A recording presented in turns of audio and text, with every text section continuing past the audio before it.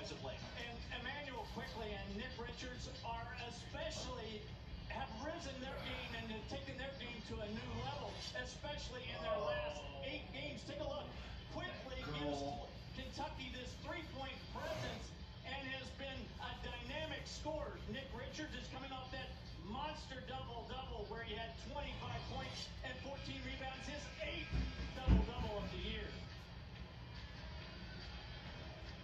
Just about set, ready to go.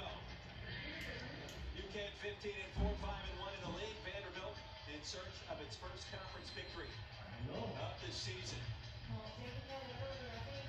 Obinna and Richards oh,